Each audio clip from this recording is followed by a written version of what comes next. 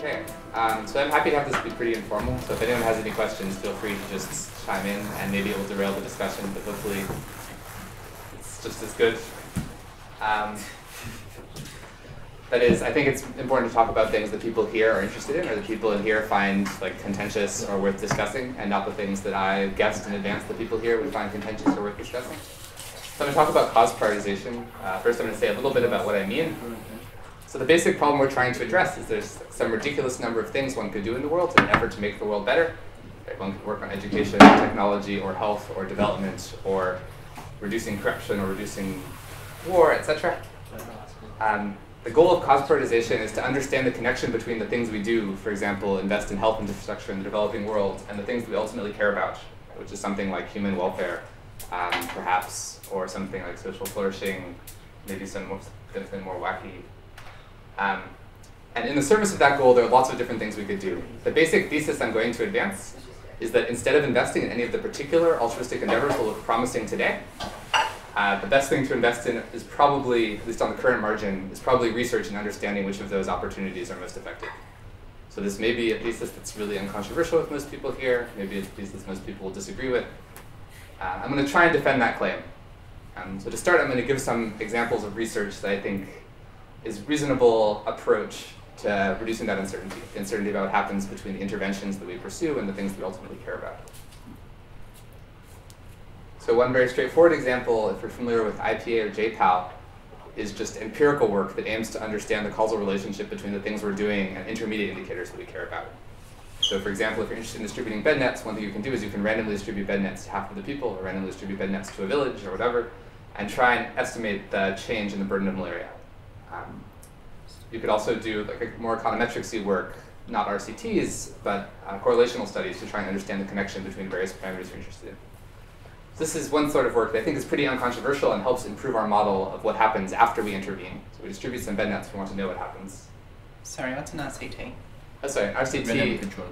Yeah, it's a randomized controlled trial. Mhm. So where you explicitly hold or vary something that you're interested in seeing the effect of. Uh, I have a question. Is that some sort of uh, the ne- lately emerging developmental studies or? Yeah, IPA and JPAL both do um, empirical work on interventions in the developing world, or Yeah. almost entirely in the developing world, to understand their effects. Is that the question? Uh, is that some connected to development studies as newly emerging in uh, humanities? Uh, I'm not sure. I haven't. Yeah, I'm Um, not sure. yeah, I can answer that. Yeah. They, they use like lots of RCTs in like development studies. Yeah. How big are they? IPA and JPAL Yeah. Uh, on the order of millions of dollars. It's a very crude estimate. But.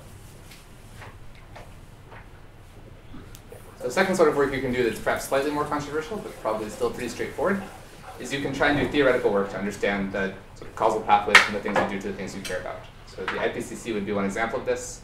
They have some system they care about that's really hard to inspect, in the same way they inspect bed nets. They care about what will happen in the climate on the basis of some intervention by existing people. Um, and so they sit down, they employ a bunch of climate scientists, and then try and do theoretical work that will inform predictions about what will happen in 50 years' time or 100 years' time. So here it's a little harder to come by robust knowledge. Right? You can't do an RCT, or you can't do many RCTs, exactly one. Um, but this knowledge is still very useful if you're considering intervening on the climate, because you want to have some model of what's likely to happen as a result of your intervention. Uh, something that's substantially farther out there would be philosophical work to identify considerations that are particularly important on your values. So one example of this would be if one is like an aggregative utilitarian or something like this, it's sort of an important observation that events that happen in the future are pretty important, and something that might not be salient to you if you don't sit down at some point and think, what are the important considerations? Which type of utilitarian? Like, ag- I just view the aggregative values in general. Like Mhm. twice as much stuff is twice as important. Then you might think about how large the future is likely to be, and this might be a really important thing to think through, um, which can help make end up making a big difference in what cause you want to support. Uh, yeah, I guess I have a fairly long list here. A fourth type is quantitative analysis, or fourth type of research. So this is taking considerations which people have already raised, or taking empirical work which people have done, and trying to see how those considerations stack up against each other quantitatively. Sitting down and building quantitative models, sitting down and comparing the strength of various factors, trying to produce summaries of this sort that let you produce a judgment. It's a way of synthesizing what is new. So the Copenhagen Consensus brings together experts in a number of subject areas uh, and then gets them to write papers on a position or on a type of intervention, for example, preserving biodiversity or developing world health, and then tries to come up with some quantitative estimate of how effective interventions in that category are likely to be, and then gets a panel of economists to rate them on the basis of that argument. So backing a little bit away from this quantitative synthesis, one could do a more qualitative synthesis. We could talk with people in different areas and try and understand what experts believe and why they believe it. Try and look at a wide variety of causes or interventions that people consider promising and understand what exactly they consider promising and why. So I'd consider GiveWell Labs to be a particularly successful, or at least promising looking example of this so far. The last category I was going to mention are improvements in general forecasting. So if people are familiar with this IARPA project, um, there's just a bunch of questions about political events, which they're interested in forecasting, or they're interested in using as test cases for forecasting. They bring together a bunch of people and try and understand the conditions under which those people can make accurate predictions about things that will happen in a year's time or a couple of years' time. And so I think this is not perhaps directly germane to this question of what should you invest in to make the world better, but insofar as all of these things just depend on making correct predictions about the future, it's potentially a very important sort of knowledge to build up, and one that you can, there's not been much investment in this area, and so there are a lot of very straightforward opportunities to invest more dollars and end up with a better sense of how people can make predictions. So this is a pretty random smattering of possible ways to make headway on this question, that is to reduce our uncertainty about the connection between what we do and what we care about. Uh, the time I spent on each one shouldn't be considered to be proportional to its importance, it's just how much I had to say before it makes sense. Um, yeah, does anyone have any questions about any of these things? We can also come back to them in a, a few minutes after I finish talking. Um, the DAGGRE was interesting. Uh, is DAGGRE one of the consortium, the consortia that participated in the IR? Yeah, so DAGGRE is one of the teams. The Good Judgment Project was another team. Those Yeah. the two with which I'm most familiar. Yeah. DAGGRE was the team um, from GMU using prediction markets. Yeah, I, I participated in, in the Tetlock team, and it was a very interesting exercise, but, um, you know, one of the things that strikes me about Tetlock is although his method did very well in those trials, if, if you read his book, which I suspect you probably have, um, he gets to the end and says, well, I don't know what we can do about this except be like Hamlet. Remember that? It's the So- strangest ending to his book. Yeah, so it's not clear. It is a hard problem. I think he's Yeah. acknowledging it's a hard problem, but it's definitely the case that people haven't tried very much.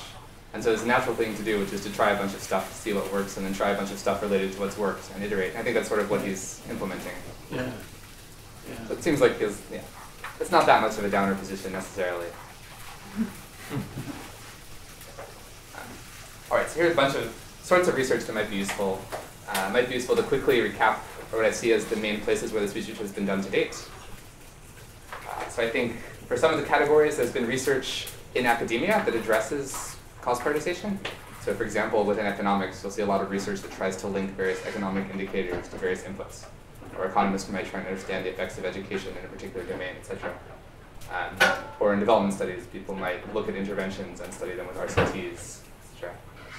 Um, so one characteristic of this work, which is unfortunate from the philanthropist perspective, is that it tends to be unfocused. People tend not to be asking what is the very best thing we could do, and let's zoom our, like, focus all of our attention on the best things to do. And so if you're interested primarily in answering that question, your focus would be somewhat different. And so from your perspective, there's still some unanswered questions, there's still some low-hanging fruit. A second big category of work is cause prioritization that's been done by philanthropists so far. So a lot of people who've given away money, most of them have thought at least some about what they ought to give money to. A lot of foundations have done some amount of explicit research into what areas would be productive to spend their resources on. And a primary complaint with this work is that it's primarily been private. So if you look at a foundation, you can see what they're giving to. It's typically very hard to understand why they've made those decisions. It's typically very, very hard to understand why they focused on the causes they focused. Even to understand why they focused on the particular charities they focused on is often quite difficult. So don't make the methodologies transparent. Yeah. And it's not just like there's some selective club of billionaires where they all share their information within their club. It's like, it's quite difficult, even if one is running a foundation, to really engage in serious discussion with other foundations about their methodology or why they're doing it. And not impossible, but there certainly could be a large, yeah. things could be quite different. What? One for the sociologist, maybe. Indeed. Do they just not consider it important to tell people the this reasoning behind it, or they, it's just too much work for them? Yeah, so I guess there are a bunch of things going on. One is that being transparent about your entire decision-making process is typically extremely difficult, sort of even to yourself. Uh, like when I decide to do a thing, it's actually pretty hard for me to be explicit about why I've decided to do the thing. And so that's one obstacle to making it transparent to other people. Uh, another is that it seems like a very uncomfortable thing to do, to expose your reasons for doing something, but I don't know if this is people's reasons. At this point, this is largely speculation. Another is that people, um, I guess there's one set of norms you could have for explaining what you're doing, and there's another, like the normal set of norms for explaining what you're doing doesn't involve giving a very useful explanation. It involves just saying some words about why it's good, but not considering in much depth, like why other things might be better or why this is the best thing. Yeah, yeah. Um, and so that means the sort when people do give explanations, the sort of explanations they give are typically not super helpful for say reproducing their decision. It's probably a, a, general rule of critical thinking, isn't it? You know, people are very prone to saying, you know, such and such is good or such and such is bad, but seldom will ask questions compared with what. And, and that's the question you really encourage people to ask. So I guess another reason this is tough is it's very uncomfortable to say that something is bad, or it's super frowned upon to say that something is bad typically.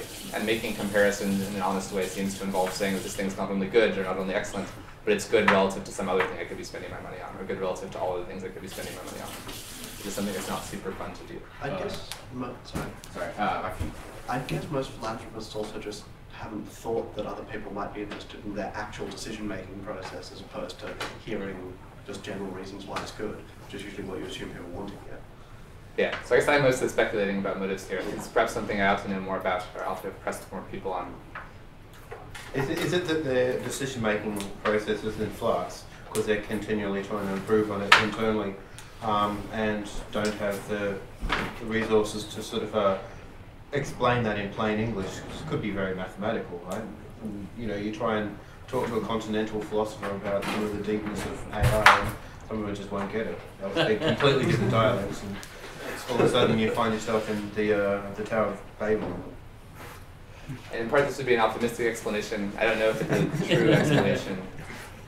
But uh, it strikes me that one of the constraints could be, as I understand it, from talking to John Fitzgerald, who I mentioned earlier, is that um, foundations are obliged, at, at least in the US, and I would assume here, uh, to donate, it's five percent of their capital each That's year. right. So a certain amount of money they have to give away.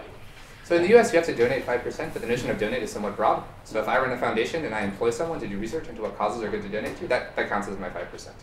Um, so basically anything I'm spending towards a philanthropic end is, counts as my 5%. Right. Even if I invest in an enterprise which I expect to um, benefit the world or to comply with my mission statement, would count. But if you're a big foundation like the Gates Foundation, that's a lot of money, five percent of Yeah. their capital. That's a lot of money. it would be employing a lot of people. Yeah. Yeah. Uh, would you would you say that all this secrecy sometimes raises suspicion, especially in post-colonial countries, that sometimes undermine their causes? I don't know. That's Our- why the theories. I would expect that what's going on is not secrecy per se. It's more that just sort of takes effort. Yeah. Um, and it's not clear. It's not clear from your perspective as a foundation if there are really people paying attention that justifies that effort. Um, so I don't know if when it's plausible not being more explicit about what you're doing is bad for your cause. Certainly one reason could be bad beyond the one you mentioned is that it makes it harder for other people to understand what you're thinking or to therefore contribute. Um, I'd be very afraid of criticism. Like Yeah. if all the foundations are putting out their reasoning, you put yours out there and everyone's comparing it and saying, well, they're making it better, you should do what they're doing, and yeah. that could be like unpleasant if you spent six months researching what to do and then everything just shreds. And Parrish thought you should learn. Exactly. like if you cared about doing the best good, yes, you, you, you'd go through that. But a lot of foundations have kind of this, this momentum, like the, you know, of having kind of invested in a particular cause, and they would feel afraid that they'd lose all their funding if they decided they're going to change direction once they've already put in lots of capital to a particular direction. So. Yeah, I think it's easier to supply a lot of plausible psychological motivations, like a lot of reasons why things might be this way. Hmm. The most important point from our perspective is this means that if you're interested in contributing to like this public base of knowledge about what is a good thing to do, or about considerations that are generally relevant to making a decision, there seems to be a lot of room to do that. Even if people have invested quite a lot, they mostly haven't invested it in a way that's building on itself or in a way that's created a publicly useful base of knowledge. Has anyone actually tried asking people, like these foundations and so on, and just saying, what is your methodology for picking and how did you get here? Yeah, this has certainly been, yeah. So I guess the main source of that um, would be GiveWell's working with Good Ventures. Okay. Good Ventures is a, I guess not a huge, but a reasonably large foundation and they're, they're trying to engage with other foundations as, much as they can. Cool. Um, apart from that, yeah, so I have some random contact with foundations and pushed a few people on this. Um, I can talk about that in more length.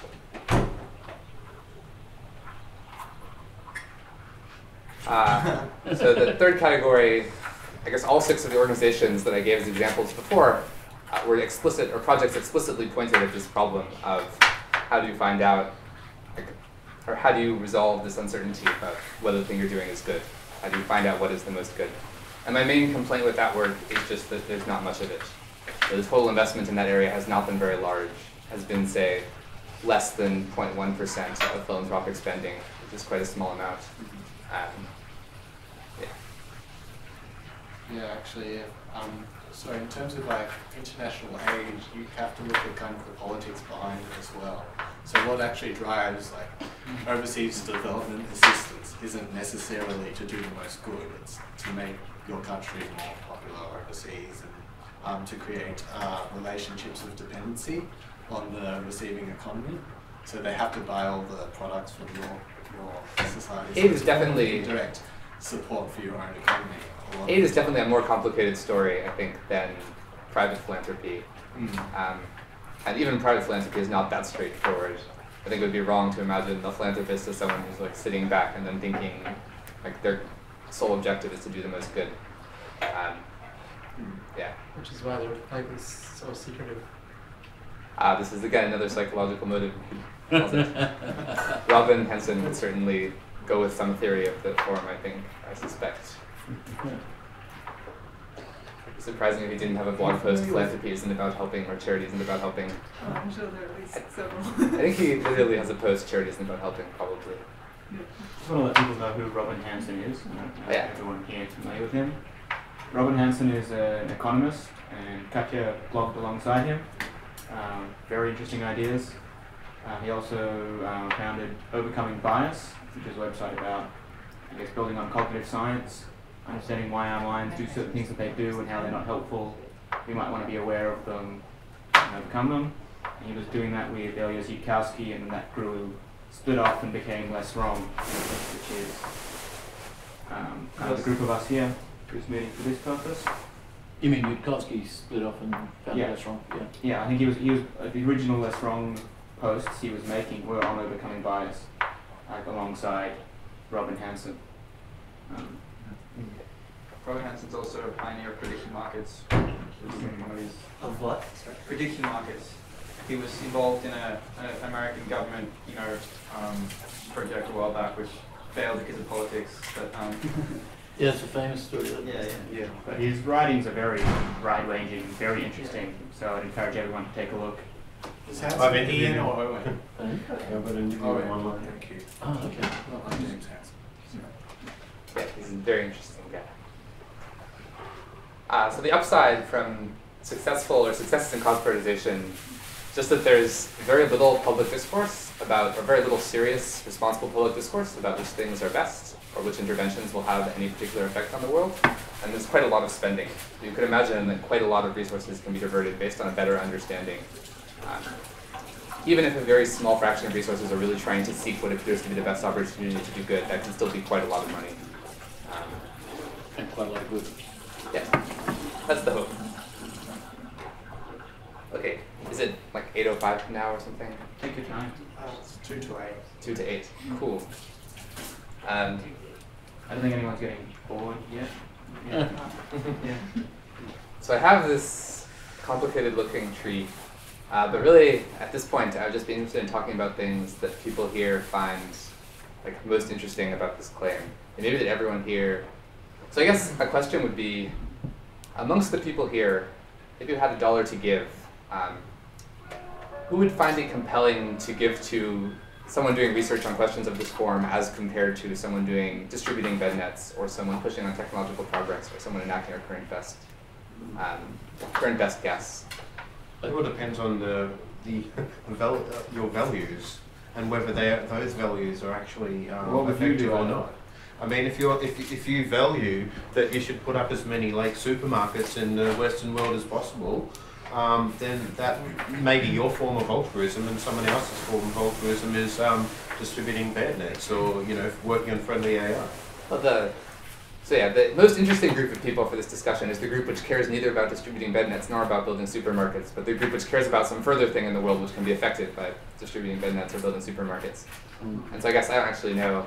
Yeah, it's hard to feel or to figure out what exactly the views of people in the room are, but it'd be interesting for the perspective of directing future conversation at least. It's not worth the effort of trying to figure it out. There's also some caveats I'm going to have to say before actually asking. Yeah, yeah, it just struck me that, if you were going to give money to people who were distributing bed nets, you'd want to know that they were doing it effectively, which means the prior question is, how do you get the prioritization right? You know, how do you know that, that they're doing it well or that there isn't something better that they could do? But equally, if you're going to give the money to people doing the cause prioritization, you'd want to be confident that, that they were doing it well and that it would lead somewhere. So there are prior, prior Yes, there could be this infinite stack of regrets for Yeah. Actually, you know. on on that point, I was actually going to say that it seems like there's a, a sort of a higher priority thing again for me personally, and might apply to any other individual personally, which is that um, seems like the, the highest value ex- expenditure of my own resources right now is to invest in my own information about what I'm going to be most have the greatest competitive advantage in. So you know, choosing between whether I try and earn to give and find some area where I can earn lots of money versus whether I have skills that are more applicable to doing direct help. Um, you know, like doing direct working projects that are direct good. You know. I think in both these cases, I think it's not going to be trivial to argue that it's not going to be trivial at all to argue that it's better to think about what things are best to do than just do our current best guess. And similarly, I think it's not going to be trivial to advance to argue that it's better to go up one meta level or to first think about what I should do with my career. But so I guess my view would be like when you can actually make that argument, then that's compelling reason to go up one meta level until you like, can't make that argument anymore. Right. Or can't successfully make that argument Uh, anymore. I think it's really important to each kind of need each other in the sense that if you don't have the research for what to prioritize and then um, try and prioritize, you're not going to be able to. And if you want to donate um, and then not have any idea of what is better to use your money for, then so they, they kind of depend on each other in a sense. And I would also assume that the amount of research that you can do. Um, so say an organization has X percentage doing research it's you're not going to be able to employ all of their organization to be doing um, exponentially good research. There's going to be kind of like a level off kind of point where at, I would I would assume that it'd be better to just use the funds to the research that they've done. Yeah, so I guess one general issue is going to be that for either, for any sort of investment, there are diminishing returns. And so in general, it's not going to be there's the best option, because as you invest in that option, it becomes worse and worse relative to alternatives. So the real question is, what is the best option on the current margin? Like the total amount of money, say, that we're considering donating now, or people in this room are currently considering donating, um, is perhaps not super large. Like it's not large compared to the total budget that might be invested over the next year in figuring these things out. Well, that, that would, I guess, highly depend on the percentage uh, chance of the research. You know, like how effective is that research compared to how, like, how do we, how do you measure that? Yeah, so the, the hope from the amount of money being small is that we can say like what is true on the current margin. And so the best thing for a person to do is not going to be, you know, split your money half and half, but to just say on the current margin, this thing looks like a really good thing to invest in. So just put my ten thousand dollars or whatever in that direction. I mean, on the face of it, cause prioritization is economics 101, right? There's, there's an indefinite number of things you could put money into. How do you determine which ones? It's a very basic, a very fundamental, basic seeming problem. Yeah. Yeah. Yeah. And Fraser, it seems did you have a question? I had a comment on the decision where I give the dollar for the nets or the research. Yeah. I think it would be like based on the results I thought that the research group was going to get. Hmm. If they seemed well connected, or they had a marketing plan, or somehow I could see that they were going to act on what they found. Uh, if I couldn't see that really clearly, then the direct, direct result of the nets, I know that would be helping someone. That, that would be that's my metric.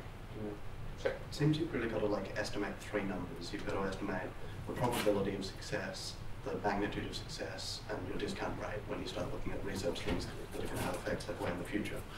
Um, so you really need to start like making estimates for those, and then you know using cause prioritization research to refine those estimates and so on, or like you know effectiveness estimates to refine the you know numbers for how effective the malaria nets are going to be. But it seems like a lot of the ground level things like malaria nets and so on are sort of um, for every marginal dollar you give, you've got a fairly high probability of having a fairly small effect.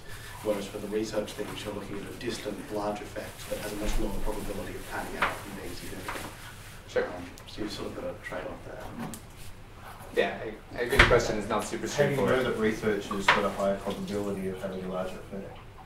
Well, like, uh, you know, if you can, it's, let's say cause prioritization research discovers, you know, cause X has this, you know, huge scope for marginal improvement and it's like 20% better than all the other causes. You channel 20% of, you know, how many million dollars a year in donations there. That's a very much larger effect than giving, you know, If you know that, yeah. Yeah, I know, but this is the thing, like, the plausible benefits, you've got to estimate this and we don't know, which is why it's a different question. Well, uh, one, one way that, you know, you could get a really rough estimate about the value of information from investing is like, you look at the distribution of all the different causes that are invested in now, and like say across GiveWell's, you know, research, I believe there's like orders of magnitude difference in how much, of- how effective different causes they've investigated are, right? Yeah. Well, I think they would probably say that over time, if they look into things more, those gaps have tended to vanish. It tends to look at face value like there's some large gap in effectiveness, and there's just a lot of considerations that tend to push things Oh, closer really? to average. Okay, but at any rate, you can, you can look at What? Not vanish, right? Oh no, it tends to tends to get shaved off. Yeah. But specifically, Okay. like the differences between GiveWell's top three charities are much smaller than the difference between pick a random charity X that the government donates to and GiveWell's top third, you know, third charity or something. Right, that, that's, that's what I was saying, like, so of the, of the worst charities and best charities in the world, there's probably orders of magnitude difference in how effective they are at doing, you know, what most humans would consider good. And if you just, you know, look across that distribution, you might be able to use that to kind of project, you know, how likely it is that we find, you know, orders of magnitude more than anything we know about. As in, so, you know, if there's, if there's some non-trivial chance of finding something that's like, you know, a hundred times as good as the best thing is currently known, then you could figure out, you know, roughly how think much that's entirely expectability possible. they have. Yeah. I mean, on the margin, I'll give an opinion here. On the margin, it, it feels like the best thing would just be to buy bed nets. So, yeah, on on the grounds that, what, what's the likelihood? Is it really likely that we'll find a better cause with the thousand dollars or? Or Well- I mean, it may not be a thousand dollars. The amount of money here, Yeah. with a hundred million dollars or something like this. Yeah. But I mean, if you look at how much um, Get GiveWell specifically has made progress in, you know, how effective they think. Like so, every time GiveWell finds a new charity which is, you know, more effective than the last one they had, you can kind of look at the progression of how good the best charity that GiveWell is recommending is. Well, that's a And super depressing list. Is it? Yeah. I mean, just like because it's going the wrong direction. Oh, really? As in, Give, GiveWell had a lot of low-hanging fruit at first, but like, because this wasn't done too much. Sure. first those days. But in the main, the main issue with GiveWell's recommendations is if you're tracking like our expected quality of the recommendations, and just as you get better informed, your estimates seem to typically go down.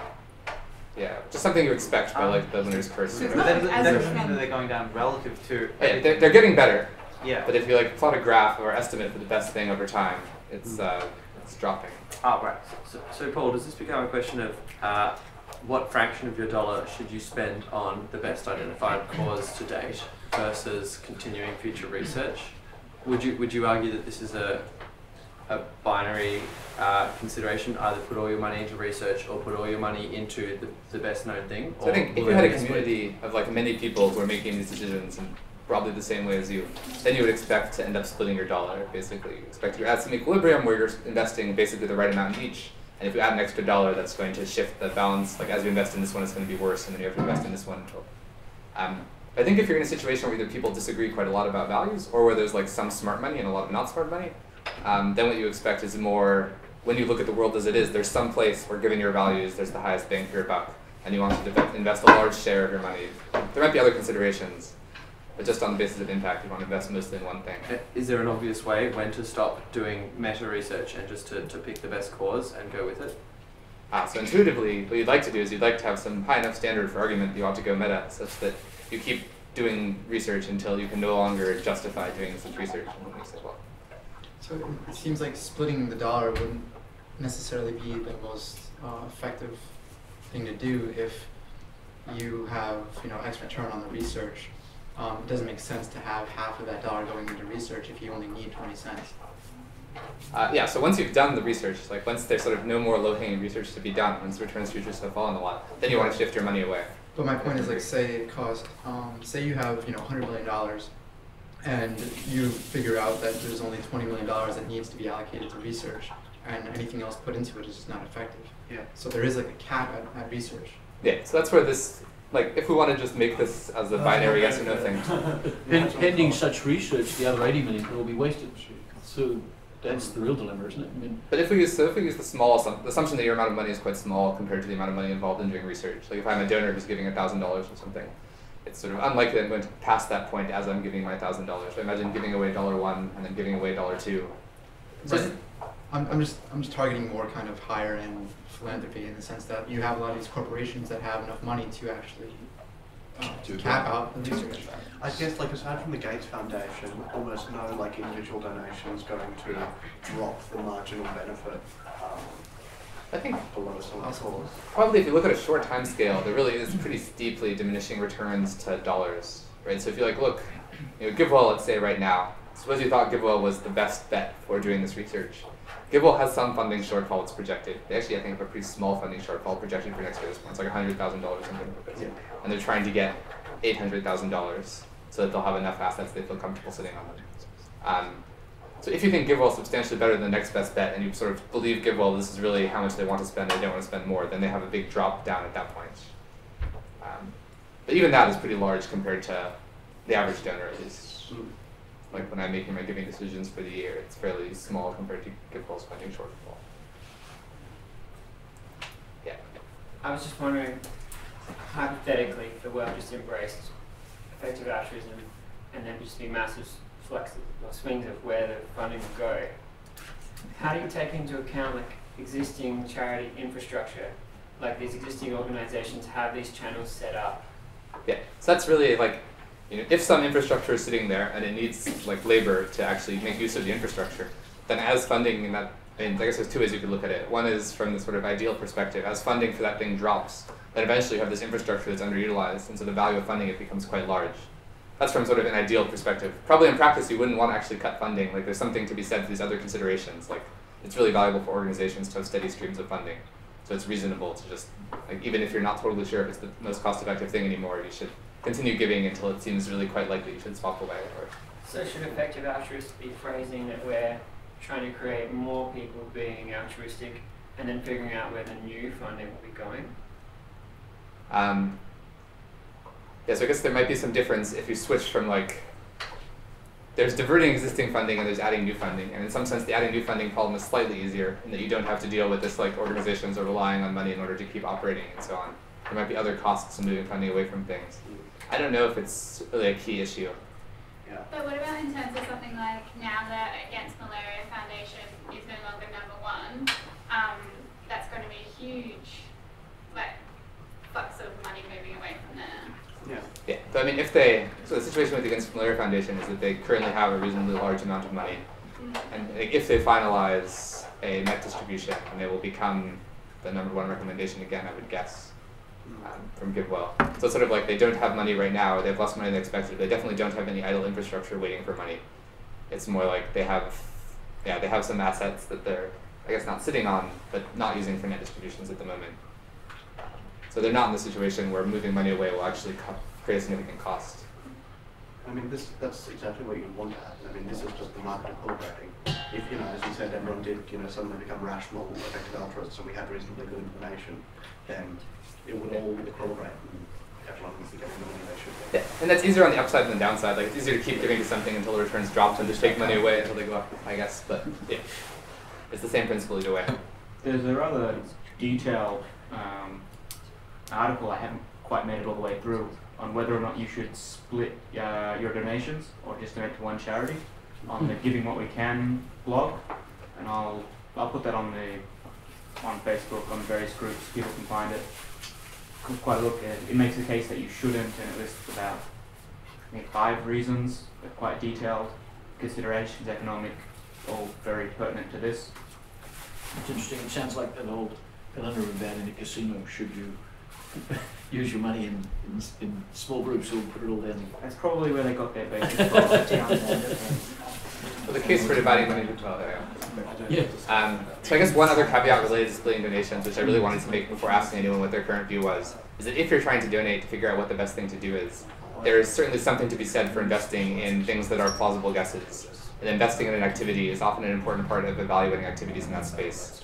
Like if you want to test like a net distribution, it's quite good to be actually distributing nets.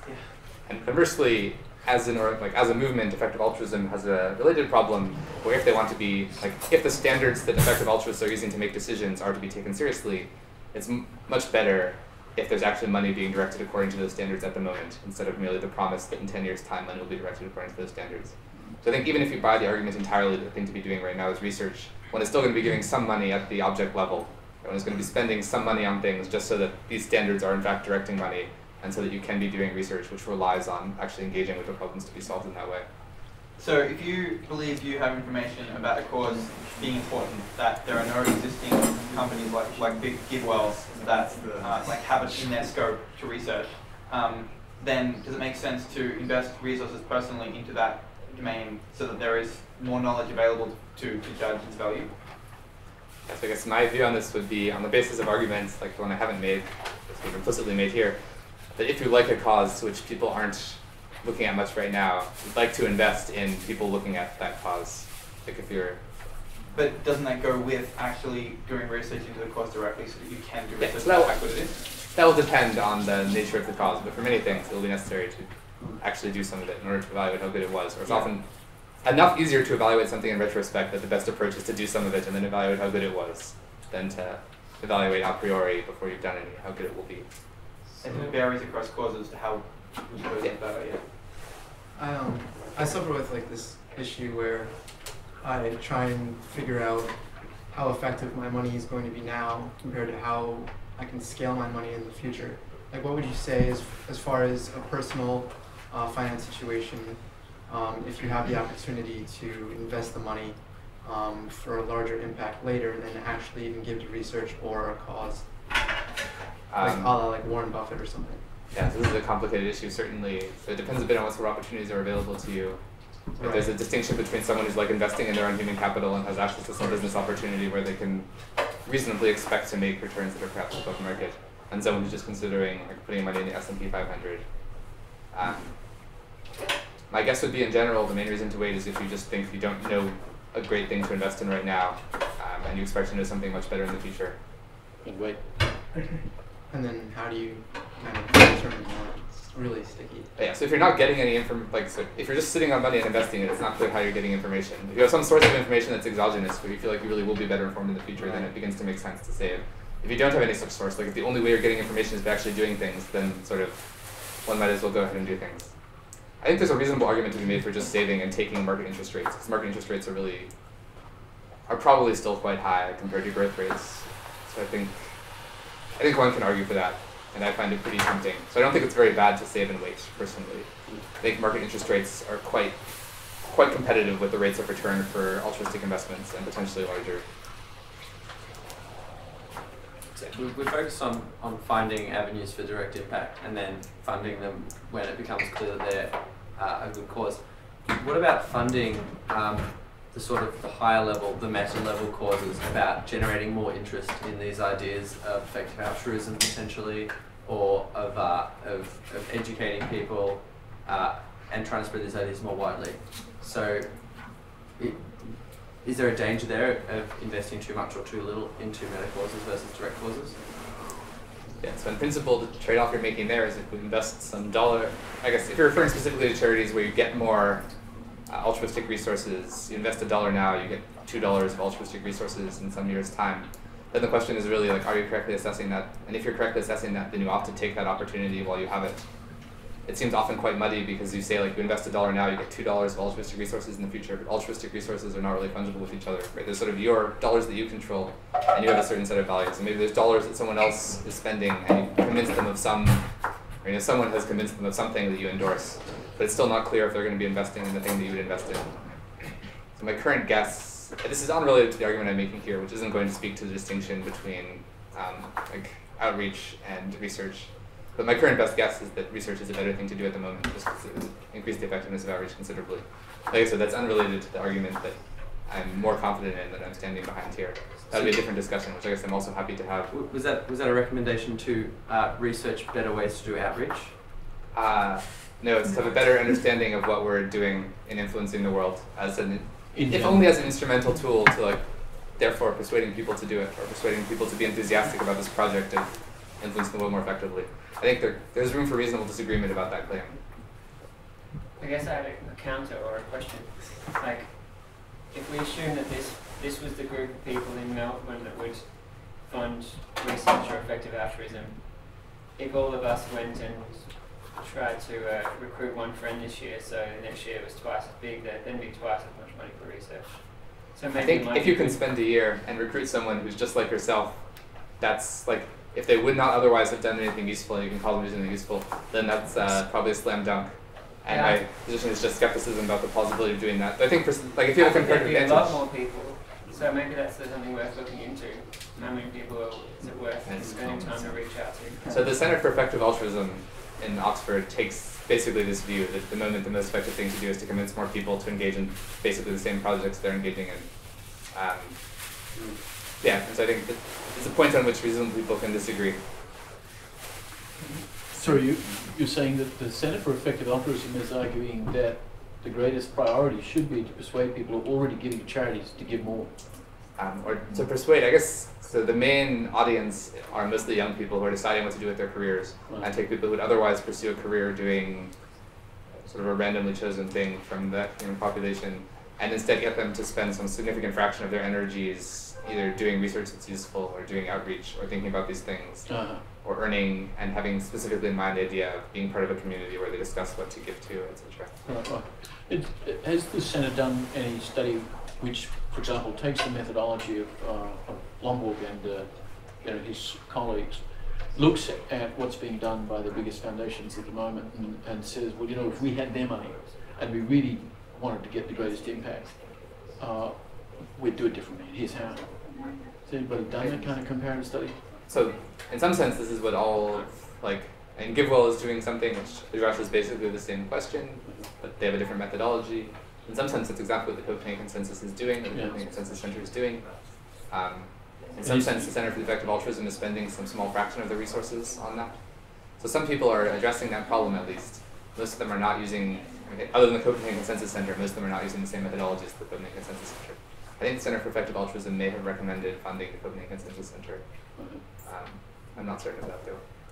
Who's Uh, considering it. I'd like to hear the argument for cause prioritization. I mean, why can't you say that GiveWell seems like a bunch of smart chaps will follow their recommendation? Uh, I mean, I don't know what GiveWell. So GiveWell doesn't want to recommend GiveWell. This argument would suggest if you buy their smart chaps, they do have a. I think they they still have a eight hundred thousand dollar fundraising gap, or they'd like to raise eight hundred thousand dollars. Um, but yeah, I guess that uh, if you take the recommendation seriously, they do seem to be recommending particular object level interventions. I think that's largely because they're taking this view where to learn more, one has to also be giving to things. right. Or in order to learn more, one wants to be like actually making recommendations and trying to sell those recommendations to people. Um, But they really And also, it seems like quite a lot of hubris to recommend yourself as the best charity in the world.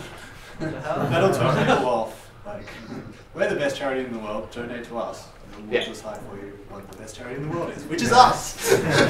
yeah. so yeah. Letian, you gonna say something? Uh, it's, it's just um, asking is it better, possibly better to hire uh, expert uh, social scientists to do the research versus uh, asking young people to learn. As because as I said, that learning social science research skills probably going to take some time. Yeah, I think in general it makes sense to, if you have a sort of research you'd like done, uh, find people who are experts at doing that sort of research and have them do it. I think that's generally a solid recommendation for getting research done. Um, I just want to add one real quick thing. Um, it's all very relative as well. If you think about everyone's different um, access to resources, um, I know you know certain friends of mine have certain access to resources that I don't, and vice versa. Uh, so understanding what exactly you individually can do or have access to is, I think, a really high priority in figuring out what the most effective thing is you personally can do. So I think money is an interesting case in that money is unusually fungible between different um, applications. With respect to things like human capital, I think this is a huge consideration. But like, or like other kinds of capital which are less fungible across different causes. Right, by just mean you can take resources that. So with money, you can take money which would be spent on problem X, and you can substitute it to spending it on problem Y quite easily. Right, and also Um, if like you have someone with you know much more money than say you know someone else doesn't have access to that. I mean, I think in general, a smaller donor should pretty much always, well, so I guess people would disagree about this. I would say that a smaller donor should pretty much always expect to get more bang for their buck than a larger donor. Should should expect that is to say should seek to or should expect in that it's likely. If I'm giving thousand dollars, I hope to have an effect much larger than one millionth of someone who's giving a billion dollars. I think that's very disappointing if I can't do that. Um, so, like, I guess one way of making the most pessimistic case for this, which I think is something you should never do, which illustrates the point, is that if I have thousand dollars, I can like go to the roulette table and like put my thousand dollars on red, and then walk away with two thousand dollars or zero dollars, and repeat this a few times until I either have a billion dollars or nothing. And I have a billion dollars with basically a probability of one in a million and then I can spend my billion dollars in the same way I would have if I was a billion dollar donor, and then I've had one millionth the effect of a billion dollar donor.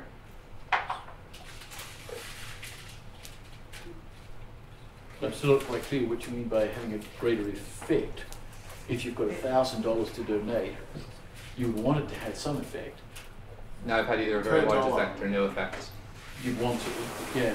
Isn't, isn't, this is about the fact that there's diminishing returns on free will any cause, and so a large donor is going to use up the high highest margins before you know. Um, with Yeah, in general, if you're a large donor, you have to put in a lot of effort in figuring out what the next good thing to give is to is, and that's very hard. And if you're a smaller donor, you have to do less of that. Is what you're saying? It's easy to spend one thousand dollars really well than it is to spend a billion dollars really well. So there are other difficulties with spending thousand dollars really well, and I guess this is like part of the problem that GiveWell wants to address. Right? The point of GiveWell, in some sense, or one of the original motivations, was to allow a bunch of people who each had thousand dollars to give, or some small amount of money to give, to like pool together and then behave as if they were collectively a large foundation. Um, But it's not to say that the person with the billion dollars is any less effective than a thousand dollars, if not. Billion dollars is clearly It's gonna be more. per dollar is the point. Like, Right, but the effectiveness can per this- dollar. Like, you can forget altruism and just think of this in terms of finance. It's why there are no hedge funds that make 10% returns on a trillion dollars. Because you can't find enough causes to get 10% returns with, with a, if you've got a trillion dollars to spend. If you whereas I can basically make ten percent returns on a thousand dollars. Yeah, quite easily. Sitting Um, Because, yeah. The other thing, um, you were talking before about, um, uh, you know, different people having different attributes, that's the sort of old economic idea of comparative advantage of working out. It's important not just what you're good at, but what's already being done and how many other people are good at that thing and how valuable that thing is. And you sort of go away them all. And it's quite complicated, but yeah. So I guess this case, which I originally alluded to, and I probably shouldn't run through. I think we should probably should we keep talking until dinner, or should we break for discussion prior to dinner? How close is dinner? Um, Um, Fifteen to twenty? Oh, well. Okay. The Keep discussion's How, been how, good. yeah, discussion is great. How far, like, how many more slides do you have, or like topics you Oh, I have a lot of slides. The presentation is not intended to go through all the slides. It is intended to go through some of them. Yeah, Yeah, I, I want to see the argument. Yeah, okay. So let's let's go into this argument. So the argument I was going to make, it's just going to be basically a way of organizing the relevant considerations. It's going to be a very straightforward argument each step.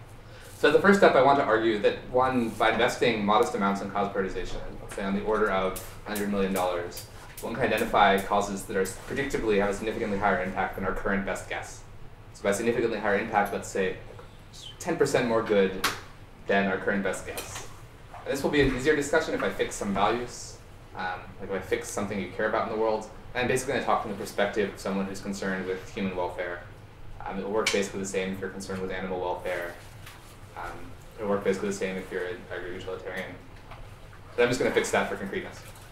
Okay, so the first part of the first claim is that we can identify with modest investment causes that are significantly better than our current best guesses. The second claim is that the value of identifying causes that are significantly better than our current best guesses is very large. So in particular, it's a significant fraction of like all philanthropic investment. So I want to say something like we invest $100 million today, we get out like $200 million of value. I think that's very conservative. So I guess one way of splitting up this discussion now is to ask which side of this is more interesting or more disagreeable. That is, do we think that with $100 million investment in a decade, we can find a cause that is 10% better than our current best guess, or a set of causes that can soak up a billion dollars of funding, which are 10% better than our current best guesses?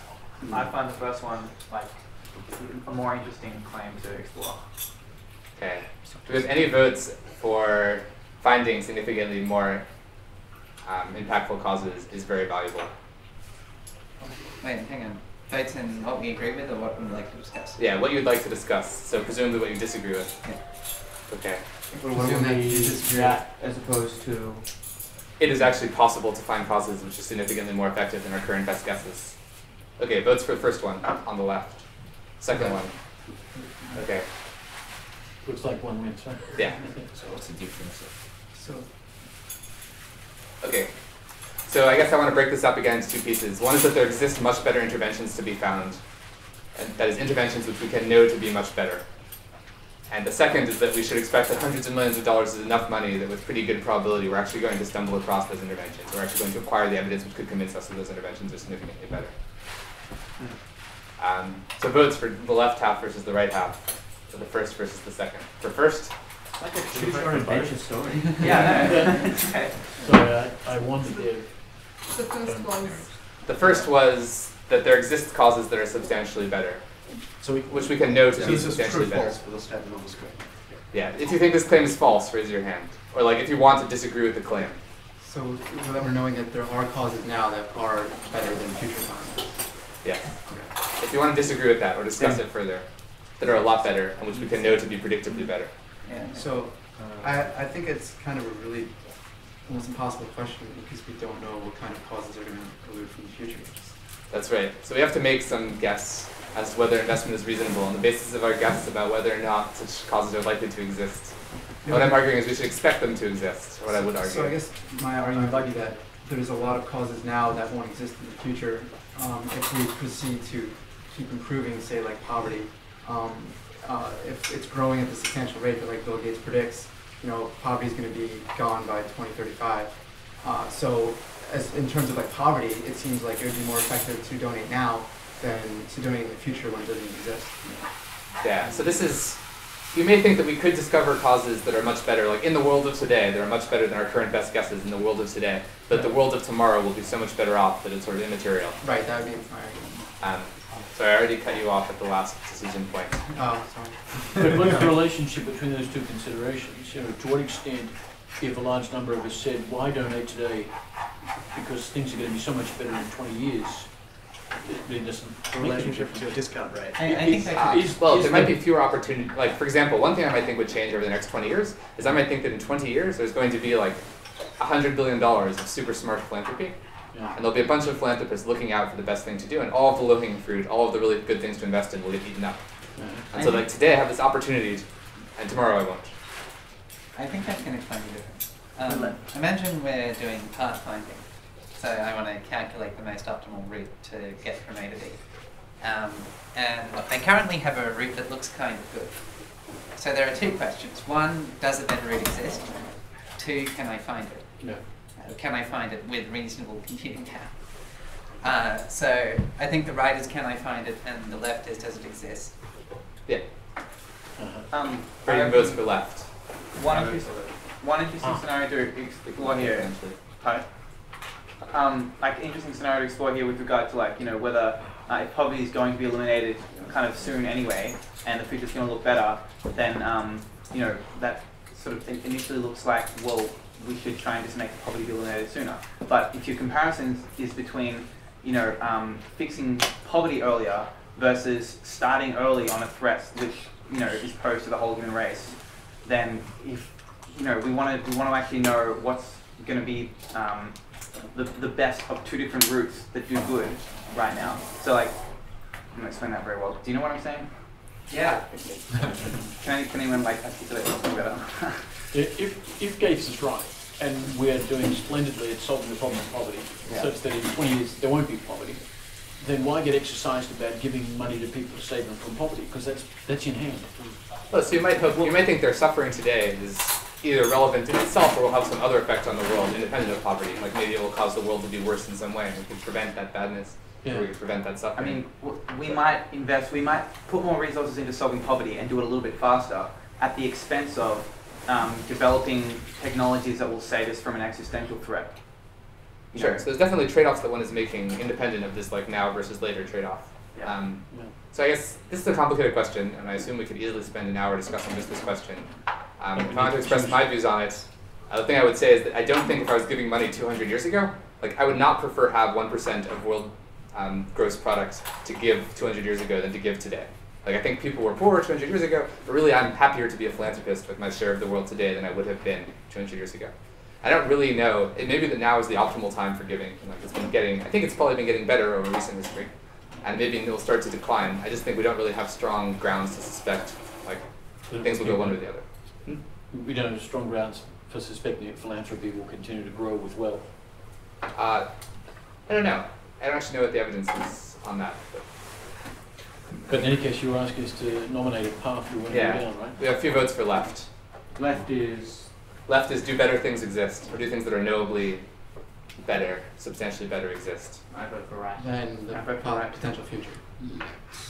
Oh dear. Okay, that's how tie break. Also, Oh, right, right. right, Right, right. It looks like it's a strong vote for the right. Well, Room full of libertarians, of course, it's a strong vote. for the right. Not really. Like, pretty, pretty well, pretty, pretty split on that ideological axis. I guess this claim is that if we invest on the order of $100 million, we should expect to have a substantially better sense of what the best things to do are um, than we currently do. So supposing that there actually exist knowably substantially better things to do, we will have a better sense of them. And so here are a couple arguments to make in favor. This time it's going to be each of these independently supports the conclusion, instead of requiring all of them. So one claim is that the total amount of money that's been invested so far is, or appears to be under $100 million. So I think $100 million would be large compared to the explicit investment in cause prioritization to date. I think the research to date does not seem to have been fruitless. That is, if I could pay $100 million and move from our state of knowledge 20 years ago to our state of knowledge today, I'd be pretty pleased with that. A second argument is that um, even failing completely, if you did so in a way where your method was quite transparent and other people saw what you had done and how you had tried to do it, would be substantial progress from our current state of affairs. So if one were to fail completely, one would still be able to say, like, this way lies danger, the next people to come should not go this way, this is not something in which we can make progress. I think it's, in some sense, very difficult for us to not change our epistemic status as we invest in this area, just because at the moment it seems like we know so little about it. We don't see like a bunch of bones of people who've gone this way and failed. Yeah. Um, or at least I don't think we do. So if we do, that would be great to know, and other people should mention it. Yeah, like development studies is littered with failures along the way, and there's lots of study of why certain development interventions fail. Problem is they disagree on why they failed. Sure. So there's some distinction between.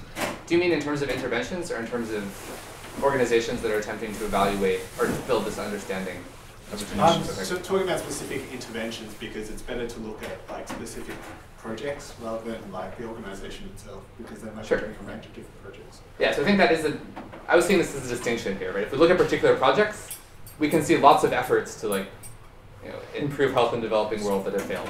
Yeah. We can point to a huge number of them. Yeah. If we look at like transparent efforts to improve our understanding of what factors, like serious transparent efforts to improve our understanding of what factors really matter in the long run, then we see fewer efforts. Like I can't point to any organization like GiveWell, was like chugging along like GiveWell, and then just invested $20 million and didn't accomplish anything. Okay, sure. Yeah, not in that kind of sense, sure. Sorry. Yeah, so I think that to me that's something that makes this area more attractive, right? If I looked and I saw a bunch of people who had tried and invested tens of millions of dollars and hadn't gotten anywhere, um, I would be much more hesitant uh, to give my next dollar to such a cause.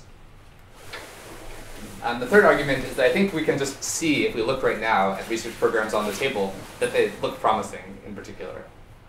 Um, You mean like GiveWell? for example, GiveWell Labs looks pretty promising to me. When I look at GiveWell Labs, I'm quite happy to invest in it. But even like the IARPA project, I'm quite happy to invest in it compared to um, interventions in the developing world. Thank you. I'd be quite you- happy to hand tell on some. Could you repeat the first one? Because I'm. That, Um, I was like- claiming that total budgets so far have been not so large, at less than $100 million Yeah. on very explicit projects, and that their output doesn't seem to have been, um, like they didn't fail. right. They produced useful info. Okay. And so that's a reason to expect that um, increasing the funding to $100 million will increase the amount of benefit. Yeah. Yeah. So we're far from saturating, basically. yeah. And this one in particular tell you that, but at least, yeah. The sort of the scale involved, the amount of mus- money invested so far has been fairly small. Okay. Um, yeah, I can just go through these randomly. We can cover all of them.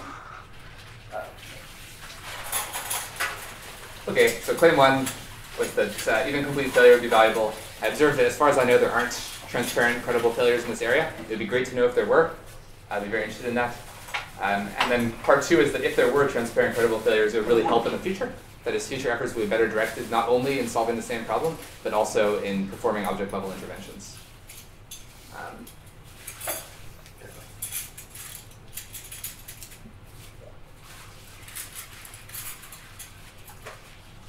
Second claim that total budgets have been pretty small and there actually has been progress. So one can just look. I guess here the main question when you want to claim that total budgets are small is, in, is your inventory of people doing explicit research actually exhaustive? Um, that's something that's very hard to be sure of. But if, like, you know, I sat down, um, we've talked a bit to people, at, like, you know, for these organizations, what do they see as the main people doing research in this space? How does the total investment there, like how much money has it been? It looks like it has not been that much money. I can't offer any evidence that my taxonomy. Can you just present quickly what you think the progress today has been, like who's done what? Is, Yeah. is that five billion to date, or is like the future of humanity insecure, or is that per? That's to date. All those numbers are to date. So I guess this is also, the number for GiveWell is perhaps a bit old. All the numbers are a bit old, um, and so they've changed a little bit, uh, but not much. Hmm? You zoom in? Oh, here? These are three random examples from that list of six I gave before. I would give similar numbers for the other organizations there. So that's a long way short of 100 Uh, certainly for each organization, though, as you add them up, you get up to Yeah. on the order of hundreds of million. So when you say that, that it's been far from fruitless, is that saying indirectly that the work done by those two organisations has been heeded by, by philanthropic foundations? So to make the argument I want to make run, um, what I want to argue is that we actually have increased our understanding of what's going on. I think it's also the case that um, it has been heated by some donors. But I think it being heated is a separate question, and that's where you might want to So it is start evident- investing in marketing and so on, and Mhm. you know lobbying and that sort of thing, rather than expecting these organisations themselves to specialise in that. So the main relevance of whether it's been heated is like as evidence about whether the research has really been in substantive improvement in our understanding. Right, so I think GiveWell is by far the easiest example to point to to say that our knowledge has improved, and that's just because GiveWell has produced very concrete recommendations that have moved reasonably large amounts of money, and which I think are like knowably. It's not clear they're knowably superior to things normal philanthropists invest in, but they're like reliably based on a firmer sort of footing. Um, so I think that's one easy thing to point to. Uh, another class of things to point to are cost-benefit analyses. Um, so I guess if I count all cost-benefit analyses, I'm going to get into a slightly larger amount of money. Uh, but as a society, we've now done a reasonably large number of cost-benefit analyses. In particular, we can look at like DCP2. Uh, for something of a slightly different flavor, we can look at the Copenhagen Consensus, where they've accumulated or gathered together a number of considerations that are relevant to evaluating the impact of a cause, um, have actually run that calculation, and have contributed to this like, growing library of interventions for which we have some estimate of its effectiveness. At the same time, we've also developed a better understanding of the ways in which those estimates are limited. So sort of, even if you think that what we've discovered is estimates aren't great, we're really in a much better place epistemically than we were prior to doing them. Right now we're in a situation where we have estimates on the table, we can say here are the plausible, here are the likely flaws with those estimates. Um, yeah, and that's a lot more to know than nothing. Uh, I think the idea of uh, looking to the future, the idea that existential risk is important on aggregated utilitarian grounds and the far future matters is an interesting, important idea, which justifies a reasonable amount of investment in thinking these things through. It's not clear if that idea ought to be directly relevant to what you do, but I think it is clear that if you haven't sort of thought those things through, then you have more thinking to do. Um, I don't know if we want to get into a discussion of that here. I think we'll probably avoid it, but I'm happy to talk about it um, offline. I think we've built up a sort of library of important relevant considerations. So there's just a large number of writings about issues that have come up when trying to evaluate causes. Uh, and here I could get into yeah, yeah, Could you give a couple of examples? of an inventory of considerations that have come up when trying to evaluate. The considerations that are in the inventory. Yeah.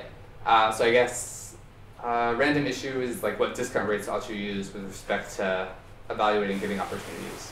What discount rate should you use? Is that a question to me?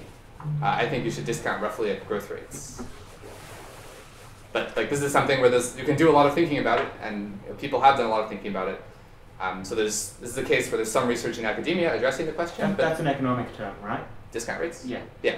Do you mean we should discount at growth rates of wealth Uh, or population? I mean more size of the world than population. Total size of the economy. The size of the world in terms of economy or what? Huh? The size of the world. Yeah. so if you're considering intervening on some property of interest, like if you're considering an intervention that creates economic value, I think the way to discount that intervention is by economic growth. Yeah. If you're considering intervention that changes the population of the world, the way to discount that intervention is population growth rates. Okay. roughly. Um, I think that's something that we've now done some thinking through. You know, it's not a huge issue, but there's a lot of small issues of this form. Um,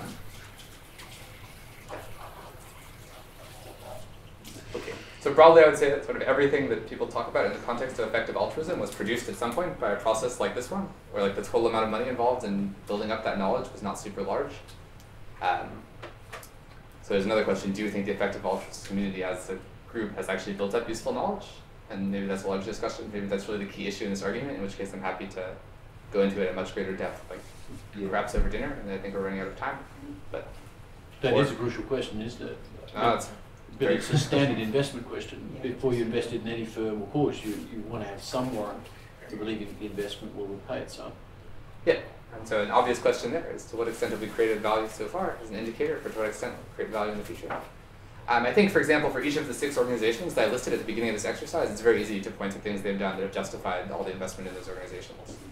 Um, I think that's really not not challenging at all.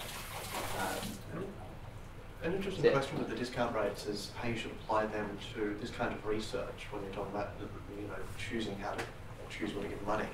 Um, it seems like there may be a significantly dis- different discount rate there, depending on how fast you think those opportunities are going to be changing. Yeah. Um, that research might become useless within you know a decade or so. Uh, that's right. So you might think, in particular, if people are becoming more reasonable over time, then the premium on reasonableness is dropping with each passing year, and so being reasonable in the future is not so hot compared to being kind of reasonable now. Yeah.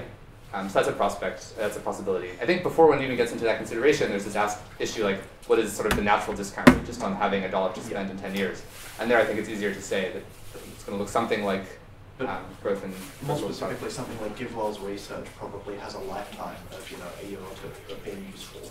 Um, Ah, so I guess it depends on which part of their research. Yeah. So, like in GiveWell Labs, I would guess the lifetime is somewhat longer. But, but yeah, a lot of the concrete recommendations they produce, which is sort of their prime research output. Um, Yeah, so I guess actually there's this important distinction. I'm not sure how much people in this room have followed what GiveWell is doing or aware of what GiveWell is doing. Um, GiveWell at this point is divided into two arms, one of which is traditional GiveWell recommendations, where they recommend charities primarily in developing world health, because that's where it's easiest to get the, a very verifiable bang for your buck. And the other arm is GiveWell Labs, which is taking up some significant fraction of staff time now. And this is just, right now what they're doing is looking at a bunch of very broad causes. For example, intervening on climate change, um, criminal justice reform, labor mobility, and looking into those causes and trying to understand broadly how um, promising investment in those causes is. So when I talk about GiveWell in the course of this talk, I'm actually mostly referring to the second, the second arm, GiveWell Labs. Um, and this is not related really, or not yet directly related to the charity recommendations they issue and that you might be most familiar with. I guess I should have made that distinction earlier. So, in your argument, are you just basically arguing for total research development and essentially ignoring any other kind of Uh, I'm arguing on the current margin, I think it's better to spend on research and to spend on direct work insofar as it's useful to developing an understanding of that direct work and of sort of the broader area that the work is part of. Right, so what would you say the margin is? Like how large is the margin? Or for how many dollars would I say this keeps being the case? Essentially, like, yeah. Uh, I don't know, so more than tens of millions of dollars. How much more than tens of millions of dollars? I think you have to reevaluate this argument after you've invested tens of millions more dollars explicitly. So I would not feel comfortable giving like a billion dollars to such this work right, Right. now. So, for example, if I have a thousand dollars now, you it would you, your argument would say it'd be better to not give it directly to like Against Malaria Foundation because they don't necess- that money would necessarily go into the direct like work that would be necessary that would support. So I would argue that once you give it to the Against Malaria Foundation, only if you believe that giving to the Against Malaria Foundation is an effective way to, like, the most cost-effective way to build your understanding of what things to give to in the future. Yeah, but that might also might be like enough money that they already have to. Yeah, I would guess that. giving to developing, so I don't give to developing world health interventions for this reason at the moment. I think they're less effective than developing a better understanding of what to give to. At the moment, I don't think developing health intervention or developing world health interventions are the most cost-effective way to improve our understanding of what to give to. It's not just the developing world. I mean, we've wasted egregious amounts of money on health and welfare in Oh yeah, so I, Western democracies. I definitely, I also don't donate to welfare charities in the um, developed world So, so for more basic reasons. Would you argue to reallocate funds that are already being spent on uh, stuff like AMF? So for the reasons we mentioned earlier, it's a little like the question of moving funding away from organizations that Right. expecting habit is quite a bit different than the question, of, or not quite a bit, but it's It's less likely to be a good idea than not giving more money. Um, So you're just more concerned about allocating new funds than reallocating anything else that's already being donated? Ooh, this is also a more uncomfortable question, but I think in general, for many charities, I would be happy allocating funds away from those charities to either research or the object level causes that I thought were most likely to be provide useful information. If, if you could, which you can't, so. I can't, so it's not an important. It is both a somewhat offensive thing to say and not a thing that's on the table, which is why I don't normally um, mention it. Um, did you have a question?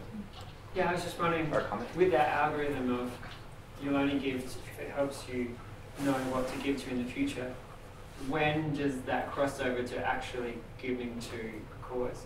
Yeah. So one thing that we didn't get into here was like, or we discussed a bit, was what is this discount rate over time? Or there's some opportunity cost of not giving now, and there's some benefit of having a better understanding in the future.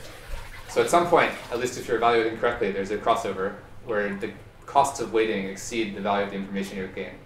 I think there's a good prima facie argument to be made that at that point, your total investment in figuring out what to do will have been a reasonable fraction of the total, your all your investment. Right? So if you've invested 0.1% of your money in figuring out what to do, I think it's very likely prima facie the best thing to do is to invest more in that. But as the fraction you've invested in figuring out what to do grows, that prima facie argument becomes weaker, and also the, the actual like concrete analysis of how good it, how good it's likely to be to donate to research um, gets less favorable. I think I would, like I said, I think I'd not be super comfortable committing very large amounts of money to research of this kind at the moment because there's not really a strong argument that very large amounts of money are likely to be helpful. And then as you gave smaller amounts of money, the game would always be to reevaluate how good you how good you thought the next dollars were likely to be.